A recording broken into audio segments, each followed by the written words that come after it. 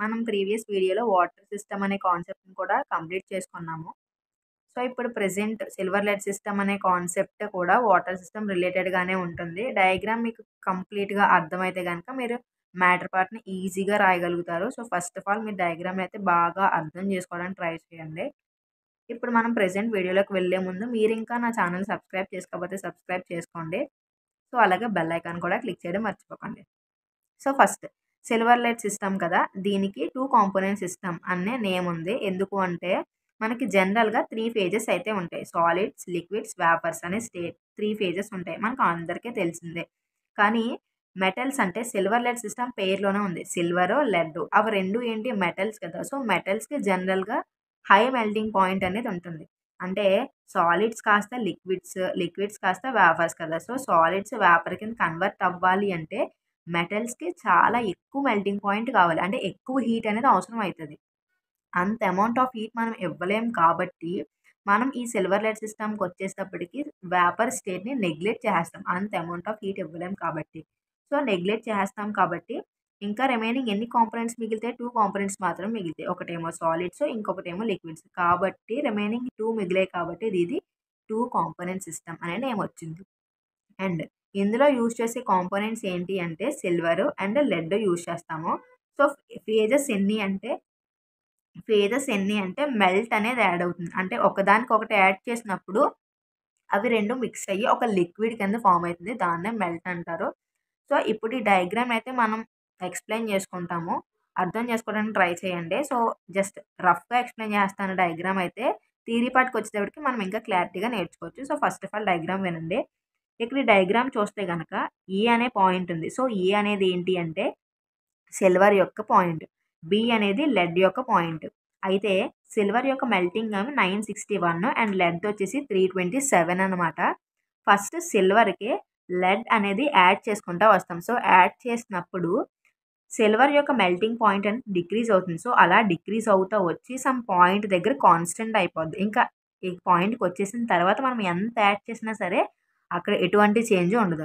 Same అదే విధంగా లెడ్‌కి కూడా సమ్ ఎలిమెంట్ సమ్ లెడ్ లెడ్‌కి సిల్వర్ యాడ్ చేస్తాం. సో, సిల్వర్ యాడ్ చేస్తే కూడా దీని యొక్క మెల్టింగ్ పాయింట్ కూడా డిక్రీజ్ అవుతుంది. డిక్రీజ్ అయ్యి ఓ అనే పాయింట్ రీచ్ అయిన తర్వాత ఇంక ఎంత ఎక్సెస్ ఆఫ్ సిల్వర్ యాడ్ చేసినా సరే ఎటువంటి చేంజ్ ఉండదు లెడ్‌లో కూడా. సో, దీన్ని ఫ్రీజింగ్ కర్వ్ ఏజీ అనొచ్చు. లేదా మెల్టింగ్ కర్వ్ ఆఫ్ ఏజీ అని కూడా అనొచ్చు. సో, దీన్ని కూడా ఫ్రీజింగ్ కర్వ్ పీబీ అనొచ్చు. లేదా మెల్టింగ్ కర్వ్ పీబీ అని కూడా అనొచ్చు అనమాట. సో, ఇక్కడ ఏంటి ఫ్రీజ్ ఏజీ కదా! సిల్వర్‌కి లెడ్ యాడ్ చేస్తాము. సో, సిల్వర్‌కి లెడ్ యాడ్ చేస్తాం. సో, ఈ మెల్టింగ్ పాయింట్ అంటే ఈ గ్రాఫ్ ఎక్కువగా ఉంటుంది లెడ్‌తో కంపేర్ చేసుకుంటే సిల్వర్ డిక్రీజ్ అవుతున్న మెల్టింగ్ పాయింట్ ఉంటుంది కదా! సో, ఆ గ్రాఫ్ ఎక్కువ ఉంటుంది లెడ్‌తో కంపేర్ చేసుకుంటే. సో, మీ డయాగ్రామ్ చూస్తేనే క్లారిటీగా అర్థమైపోతుంది ఈ ఏకి, ఓకి డిస్టెన్స్ ఎక్కువ. బి, ఓతో కంపేర్ చేసుకుంటే. సో, అదే అనమాట సో, యూ అనే ఓ అనే పాయింట్ దగ్గర ఏముంటుందంటే యుటెక్టిక్ మిక్సర్ అంటారు ఓ అనేది. అంటే ఏఓ అలాగే బీఓ రెండు మీట్ అయ్యే పాయింట్ కాబట్టి దీన్ని యుటెక్టిక్ మిక్సర్ అంటారు. సో, ఈ యుటెక్టిక్ మిక్సర్ దగ్గర మనకి ఏమేమి ఉంటాయి అంటే సాలిడ్ సిల్వర్ ఉంటుంది. సాలిడ్ లెడ్ ఉంటుంది. అలాగే మెల్ట్ అనేది కూడా ఉంటుందన్నమాట ఈ పాయింట్ దగ్గర. ఓ అనే పాయింట్ దగ్గర. సో, ఈ ఏఓడి అనే ఏరియాస్ దగ్గర ఏముంటుంది? బీఓడి అనే ఏరియాస్ దగ్గర ఏముంటుంది అనేది మనం ఫర్దర్‌గా డిస్కస్ చేసుకోవచ్చు. సో, చూడండి. So, it's a two component system చెప్పుకున్నాం. సో, కాంపనెంట్స్ ఏముంటాయంటే లెడ్, సిల్వర్ ఉంటాయి. ఫేజెస్ ఏంటంటే త్రీ ఫేజెస్ ఉంటాయని చెప్పుకున్నాం కదా! సో, ఇప్పుడు అంటే వేఫర్ అనేది ఎగ్జిస్ట్ అవ్వదు. సో, ఇందులో ఈ డయాగ్రామ్ ఎక్స్‌ప్లెయిన్ చేసుకున్నాం కదా! ఇప్పుడు దీనే థియరీ పార్ట్ కింద చెప్పుకుందాం. సో, స్టేబుల్ కర్వ్స్ ఏంటి అంటే ఓఏ కరువు ఓబీ కరువు అనేవి స్టేబుల్ కర్వ్స్. ఏరియాస్ ఏంటి? B O, A O B B O C C O D C O E D O E అనమాట. అంటే ఈ ఏరియాస్ ఏమైతే ఉన్నాయో ఆ ఏరియాస్ అన్నిటినీ రాసుకున్నాము. అలాగే యుటెక్టిక్ పాయింట్. సో, మనం ఈ త్రీ పాయింట్స్ కూడా డిస్కస్ చేసుకుందాం. సో, ఫస్ట్ కర్వ్స్ అనే టాపిక్ వచ్చేస్తే కనుక curves. So, O A curve ఉంది. ఓబీ కర్వ్ కూడా ఉంది. సో, ఓఏ కర్వ్ ఏం చెప్పుకున్నామంటే చూడండి ఇక్కడ ఓఏ కర్వ్ ఏం చెప్పుకున్నాము? సిల్వర్‌కి లెడ్ యాడ్ చేసుకుంటా వస్తాము. మెల్టింగ్ పాయింట్ డిక్రీజ్ అవుతుంది సమ్ పాయింట్‌కి వచ్చిన తర్వాత అక్కడ ఎటువంటి చేంజ్ ఉండదు. సేమ్ అదే మ్యాటర్‌లో ఉంటుంది చూడండి ఒకసారి చదువుతాను. సో, ఈ e అనేది ఏంటంటే represent melting point of silver. Melting point of సిల్వర్నే A curve అంటే ఓఏ కర్వ్ అనేది రిప్రజెంట్ చేస్తుంది. మెల్టింగ్ కర్వ్ పాయింట్ అక్కడ ఎంత టెంపరేచర్ అంటే 961 degrees. So melting point of silver decrease అవుతుంది ఎప్పుడు by addition of lead so దానికి లెడ్ యాడ్ చేసి కోల్ది అంటే ఈ కరువుకి లెడ్ యాడ్ చేసి కోల్ది మెల్టింగ్ పాయింట్ అనేది డిక్రీజ్ అవుతూ ఉంటుంది సిల్వర్ది. So melting point silver is decreases by addition of lead okay? This curve shows the this curve shows the effect of addition of lead on melting point of pure Ag. అంటే ఇక్కడ OA curve ఉంది కదా so O A curve అనేది ఏం చెప్తుందంటే melting point అంటే దానికి lead add చేసినప్పుడు అది ఆ కరువు మెల్టింగ్ అవుతుంది కదా! అంటే మనం లెడ్ ఏజీ సిల్వర్కి లెడ్ అనేది యాడ్ చేసుకుంటూ వస్తాం. సో సిల్వర్కి లెడ్ అనేది యాడ్ చేసుకుంటూ వస్తే లెడ్ యాడ్ చేయడం వల్ల సిల్వర్ యొక్క మెల్టింగ్ పాయింట్ డిక్రీజ్ అవుతుంది కదా! సో ఆ ఎఫెక్టే మనం ఇక్కడ ఓఏ కరువులో చెప్తామని చెప్తున్నారు. This curve shows the effect of addition of lead. అంటే లెడ్ని యాడ్ చేస్తాం on melting of pure Ag. Pure ఏజీకి pure ఏజీని మెల్ట్ చేయడానికి లెడ్ అనేది యాడ్ చేస్తామని చెప్తున్నారు. అంటే తిప్పి తిప్పి ఇంకా అదే ఉంటుంది. సేమ్ మనం ఏదైతే ఎక్స్ప్లెయిన్ చేసుకున్నామో అదే ఉంటుంది ఇందులో మ్యాటర్ పార్ట్ కూడా. సో దాన్ని ఏం చెప్పుకున్నారంటే melting point curve of Ag అంటారు. సో ఇదే కదా మెల్టింగ్ పాయింట్ ఆఫ్ సిల్వర్ అంటాం. అంటే ఇక్కడ ఫార్ములా రాసుకున్నాం అక్కడ అది రాసుకున్నాం అంతే. Melting point of silver decreases finally reached O అంటే మెల్టింగ్ పాయింట్ అంటే లెడ్ యాడ్ చేసిన తర్వాత మెల్టింగ్ పాయింట్ అనేది డిక్రీజ్ అవుతుందని చెప్పుకున్నాం కదా. సో ఈ పాయింట్కి రీచ్ అయిపోయిన తర్వాత ఇంకెంత ఎక్సెస్ యాడ్ చేసినా సరే ఎటువంటి చేంజ్ ఉండదు. At this point the solution become saturated with respect to lead. Further addition does not change in melting point O point reach అయిపోయిన తర్వాత ఇంకా ఎంత యాడ్ చేసినా సరే అంటే ఎటువంటి చేంజ్ ఉండదు మెల్టింగ్ పాయింట్లో సో ఈ ఓఏ కరువు దగ్గర ఎన్ని ఫేజెస్ అంటే టూ ఫేజెస్ అనేవి ఈక్విలిబ్రియంలో ఉంటాయి. ఒకటి వచ్చేసి సాలిడ్ సిల్వర్ ఒకటి మెల్ట్ ఒకటి. మెల్ట్ అంటే ఏంటి అంటే ఏజీ ప్లస్ పీబీ మెల్ట్ అని చెప్పుకున్నాం కదా సో ఈ రెండాటి యొక్క లిక్విడ్ని మెల్ట్ అంటారు. So phases two so phase rule మనం P F equal to C minus P plus one ఇది కండెన్సర్ ఫేజ్ రూల్ యొక్క ఫార్ములా డిగ్రీ ఆఫ్ ఫ్రీడమ్ని ఫైండ్ చేయడానికి. సో సి కాంపనెంట్స్ ఎన్ని కాంపనెంట్స్ సిల్వర్ ఒకటి లెడ్ ఒకటి కాబట్టి టూ కాంపనెంట్స్ మైనస్ ఫేజెస్ ఎన్ని అంటే two phases plus one so minus two plus two cancel one కాబట్టి యూని వేరియంట్ అంటే ఒక దాని మీద మాత్రమే ఇది డిపెండ్ అవుతుంది. అండ్ నెక్స్ట్ వచ్చేసి O B curve so O B curve కూడా సేమ్ అలానే ఉంటుంది చూడండి. బి అనేది ఏంటంటే మెల్టింగ్ పాయింట్ ఆఫ్ లెడ్ అనమాట సో ఓబీ బి అనేది మెల్టింగ్ పాయింట్ ఆఫ్ లడ్డు ఇక్కడ టెంపరేచర్ వచ్చేసి త్రీ ట్వంటీ సెవెన్ డిగ్రీస్ ఉంటుంది. Three twenty seven degrees melting point of lead is decreased by addition of silver అంటే silver add చేసి కోల్ది lead యొక్క melting point అనేది decrease అవుతుంది.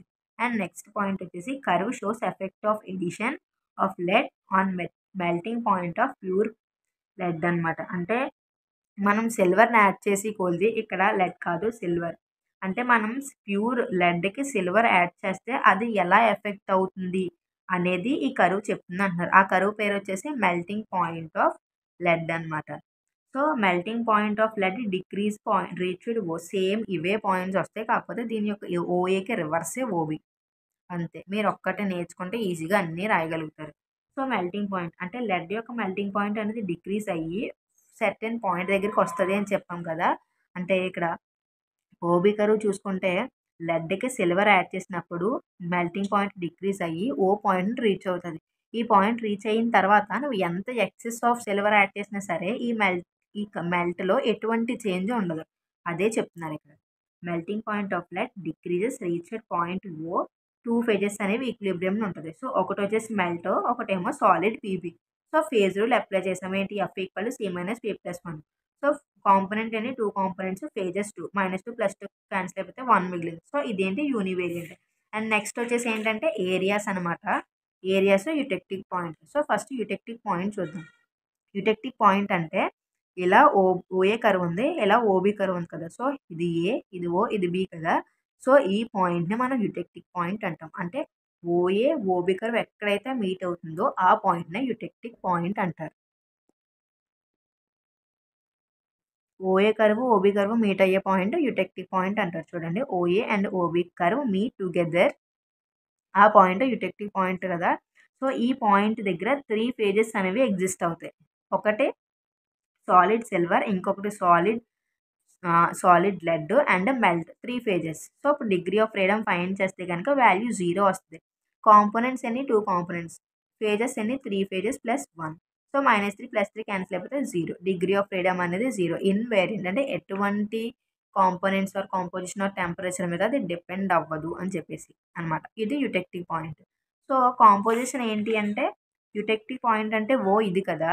సో ఈ ఓ దగ్గర కాంపోజిషన్ వచ్చేసి ఇది. Ninety seven point four percent lead ఉంటుంది. Twenty two point six percent of silver ఉంటుంది.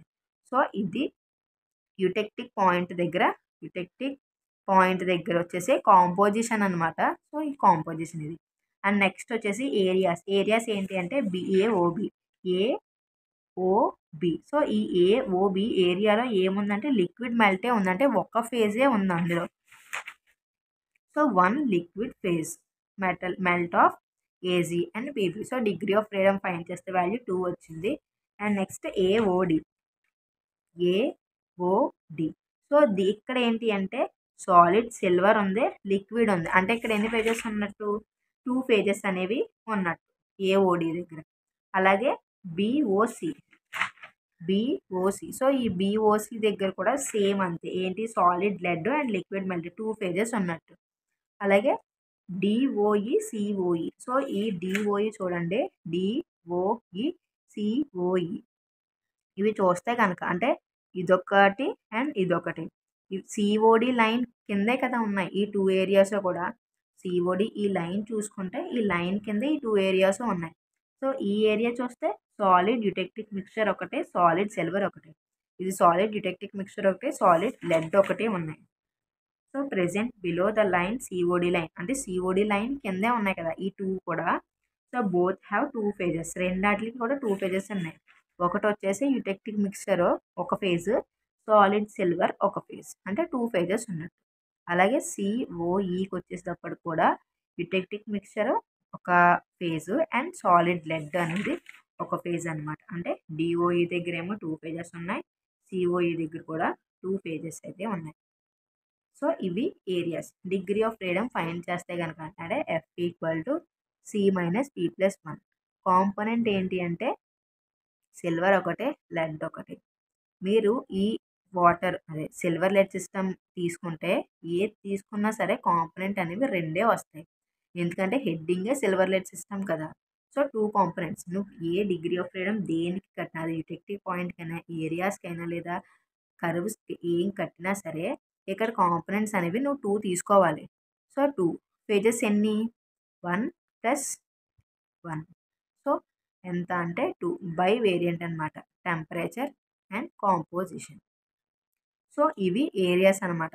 మీరు ఇంకొకటి ఏంటి అంటే water silver lead silver lead system తీసుకునేటప్పుడు మీకు హెడ్డింగ్లోనే సిల్వర్ లెడ్ ఉంది. అంటే సిల్వర్ లెడ్ టూ ఉన్నాయి కాబట్టి మీరు ఇందులో యుటెక్టిక్ పాయింట్ తీసుకున్నా లేదా ఏరియాస్ తీసుకున్నా లేకపోతే కర్వ్స్ తీసుకున్నా సరే మీరు అక్కడ కాంపోనెంట్ ఎంత వెయ్యాలి అంటే టూయే వెయ్యాలి. ఎందుకంటే సిల్వర్ లెడ్ సిస్టమ్ కాన్సెప్ట్ నేమే టూ ఉన్నాయి కదా. సో కాబట్టి అందులో ఉన్న కాంపోనెంట్స్ టూ కాబట్టి మీరు ఏం యూజ్ చేసినా సరే కాంపోనెంట్ నెంబర్ టూఏ వేయాలి.